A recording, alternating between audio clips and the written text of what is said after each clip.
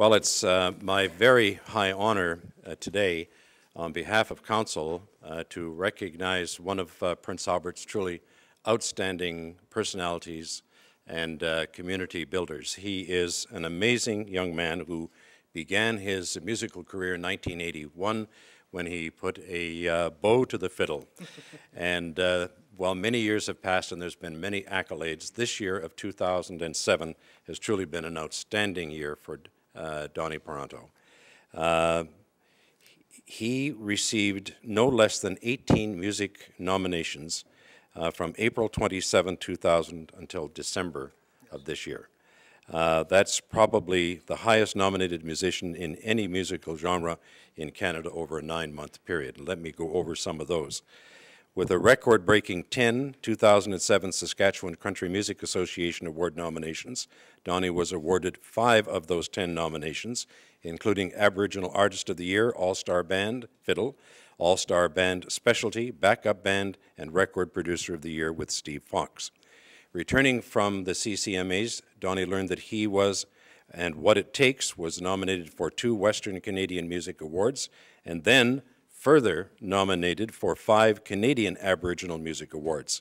Now, in addition to all of this, Donny acted as ambassador for the Canadian Wanaska, the Canadian Showcase of Aboriginal Music and Arts throughout uh, the fall months. I don't know how you did it all, but you returned from Toronto with uh, two national awards, and I'm going to ask you to uh, tell me about these awards. Uh, Donny, that's, uh, to win one would be outstanding.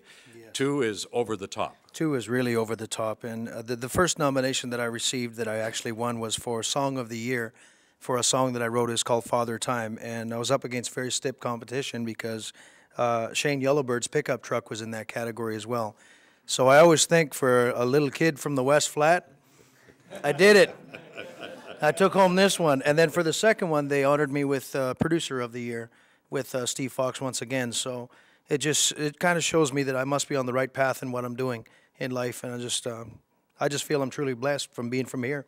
That's why I still live here. Very good, and, and I want to compliment you because you made a career choice that many of us wondered at the time if it was the right thing to do.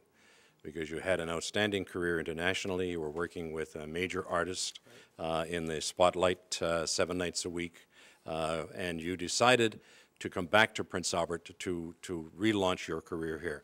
Uh, and uh, as I say, many wondered, but now we understand.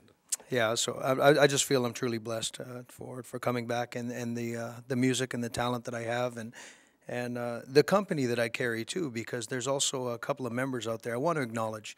Uh, Rod Janzen, who's also from Prince Albert, Saskatchewan, plays lead guitar with Dierks Bentley, and just co-wrote the last song of Dierks Bentley's. So I was just informed that he just paid off his house in Nashville. Uh, also, Randle Currie, who is just from outside of Prince Albert, plays uh, steel guitar with Brad Paisley.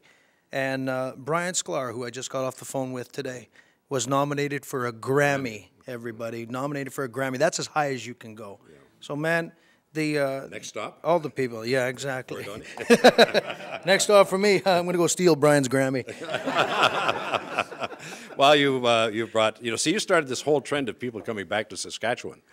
Because that was what, five, how many years ago? Five years ago that I come back home. Right. Yeah, I made a decision with my mom. I come home to visit mom at Christmas time, and was I wasn't even here two weeks, and I told her I said I'd like to come move back home, and and of course she was you know delighted, and and then I met my wife Patricia here, and and everything's just fantastic right now.